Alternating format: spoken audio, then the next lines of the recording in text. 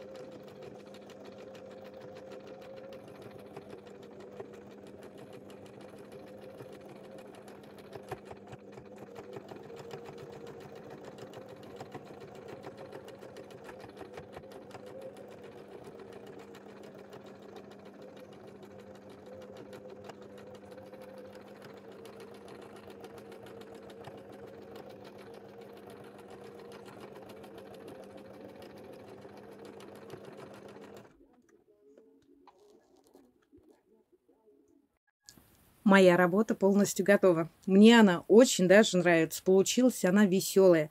Но хочу заметить, что уже несколько работ у меня все-таки в одной цветовой гамме. И действительно, почерк мастера, он узнается сразу.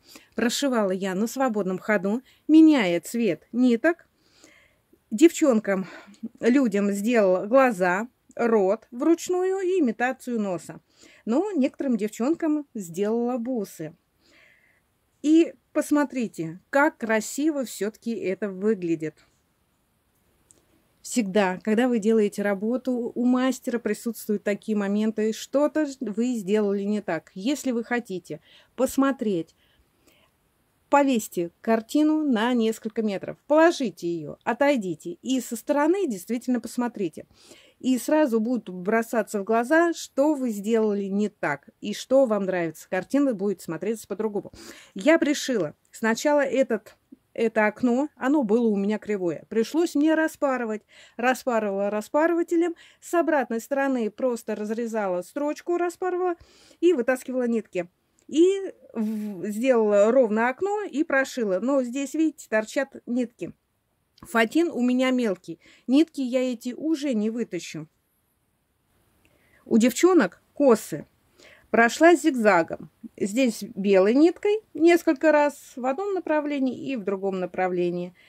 И здесь коричневой ниткой, здесь черной ниткой. Но здесь проглядывается, что это действительно косы. Хотя на белом цвете можно взять слегка серую нитку и пройти зигзагом, будет видно, что заплетена коса. У этого мальчишки косоворотка, волосики сделала вручную, видите, сделала манжетики. Вот этот дом смотрелся очень мрачно, он как-то сливался. И я решила сначала сделать окантовку на свободном ходу вот такими завитушками, потом думаю, нет, дай-ка я и крышу сделаю, тоже белой нитью. Вот у этого мальчишки гармонь. Я просто прошила туда-сюда, я прошивала и делала имитацию. Гармония – это была лайка. Здесь, конечно, желательно прошить темными нитками, хотя здесь коричневый цвет, он сливается. Надо сделать все-таки черные струны. И на этой балалайке у меня три струны, а не семь. В этой работе мне очень нравится вот этот светлый дом, забор, горшки – в следующих работах я попытаюсь повторить то же самое. Вы уже посмотрели, что у меня получилось, и теперь я вам покажу. Я взяла с Яндекс картинок вот такие наброски. Сначала я хотела сделать девчонок с березками, выкроила березки, и так и лежат до следующей работы. И вот, вот он, дом, и видите, что-то свое дополнила что-то переделала. Но основа была задумка вот эти все работы. И получилось то, что у меня получилось. Так что, девчонки, не бойтесь. Берете картинки с Яндекс картинки, копируете и на свой лад и своей ткани фантазируете, что-то добавляете, что-то убавляете, местами меняете. Все равно оригинал у вас не получится. И вот еще одна моя работа. Вы ее найдете, если не смотрели плей, плейлист «Лоскутное шитье» или «Текстильная пицца». И вот откуда я взяла. Тоже с интернета. Вот моя любимка. И я ее увеличила. Я сделала ей подругу, добавила что-то свое, и получилось у меня как купчихи.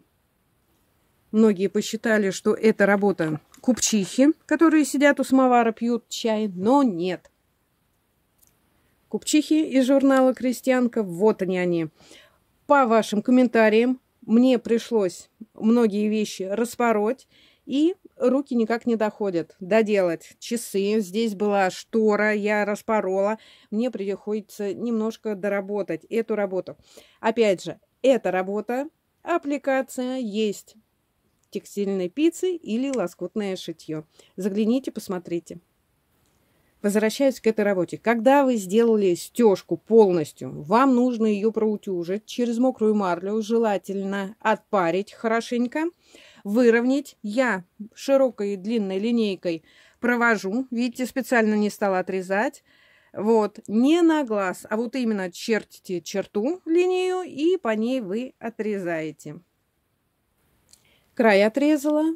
Теперь желательно еще раз проутюжить. Смотрите, обратная сторона, она получилась чистенькая. Вот эти ниточки можно отрезать, потому что когда вы делаете стежку, вы всегда начинаете закрепку. Закрепку сделали и пошли.